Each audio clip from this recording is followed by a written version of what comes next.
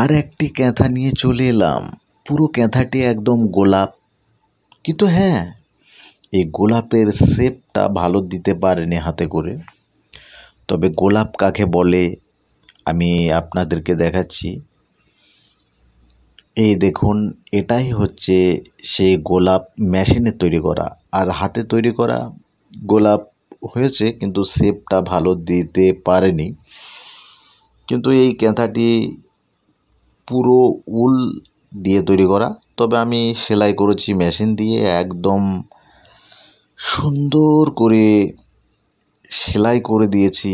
এই যে গোটা ক্যাঁথাটি দেখছেন যে গিজিমিজি হয়ে আছে। ওর ভিতরে মেশিন ঢুকিয়ে আমাকে সেলাই করতে হয়েছে। একটি ক্যাঁথা করতে অনেক টাইম লেগে যায়। প্লেন ক্যাঁথা তো আপনার এক, দেড় কিংবা দুই দিনে হয়ে যায়। এটা করা যাবে না। দেখুন, সেলাইটি দুর্দান্ত আমি করেছি। পুরোটা সেলাই করতে অনেক টাইম লেগেছে আমার। আর আপনারা যদি মেশিনে সেলাই করতে চান, তাহলে একটা মেশিন কিনে ফেলুন না। আমাকে দিয়েই সেলাই করাতে হবে, তার কোনো মানে নেই। কারণ ইউটিউবের জগৎ মানে ইন্টারন্যাশনাল আমার যদি সোসাইটির আশেপাশে কেউ যদি থেকে থাকেন ভরতপুরের আশেপাশে, তাহলে আমাকে দিয়ে করাতে পারেন।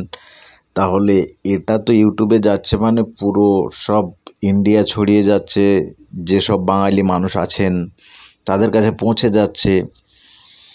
তো বলছিলাম নিজে নিজে করার চেষ্টা করুন, আর আমাকে করাতে চাইলে আমার সোসাইটি মানে আমার পাড়ার আশেপাশে, দেখুন হাতে কিছুটা করেছিলেন, তারপরে বোর হয়ে গিয়েছিলেন মানে এই তো হাতে সেলাই করা চারটিখানি ব্যাপার নয়।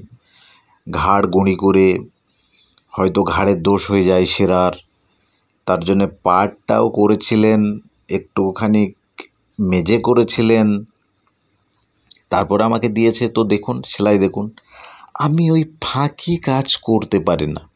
অনেকে বলে যে, সাড়ে চারশো টাকায়, পাঁচশো টাকায় ক্যাঁথা সেলাই করে প্লেন, আর আপনি বেশি নেন কেন? কারণ আমি যে এই ছোটো ছোটো দানা দিয়ে সেলাই করি, আপনি যদি নিতে চান সাড়ে চারশো টাকার সেলাই, তা চলে আসুন প্রবলেম নেই। আর এই ক্যাঁথাটি সেলাই করতে আমি পনেরোশো টাকা নিই। কারণ অনেক দিন টাইম লেগে যায় আর ঘুরিয়ে ঘুরিয়ে এই যে পুরা ঝাড়টার ভেতর দিয়ে ঘুরিয়ে ঘুরিয়ে আমাকে করতে হয়, সেই কারণ থেকে টাইমটা বেশি লেগে যায়। কিন্তু ক্যাঁথাটি দুর্দান্ত হয়েছে। এই ক্যাঁথাটি আমার ভরতপুর গ্রামে দিঘি পাড়ার ক্যাঁথা ছিল। হ্যাঁ দিঘি পাড়ার একদম ক্যাঁথা ছিল। তবে আমি কম রেটে করে দিয়েছিলাম।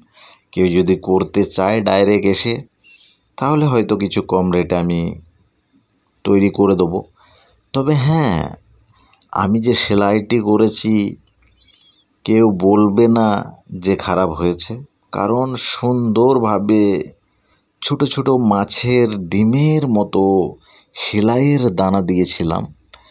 আর দুর্দান্ত হয়েছে।